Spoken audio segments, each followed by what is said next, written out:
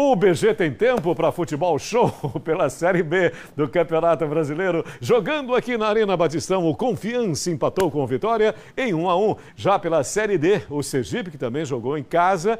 O Gipão, hein, Joel de Souza? Cadê Joel? O Gipão perdeu para o Juazeiro, rapaz, da Bahia por 1 a 0. O Itabaiana foi o único dos nossos representantes a vencer grande Itabaiana no fim de semana. Jogando fora de casa, o tricolor da Serra ganhou do Bahia de Feira de Santana por 1 a 0.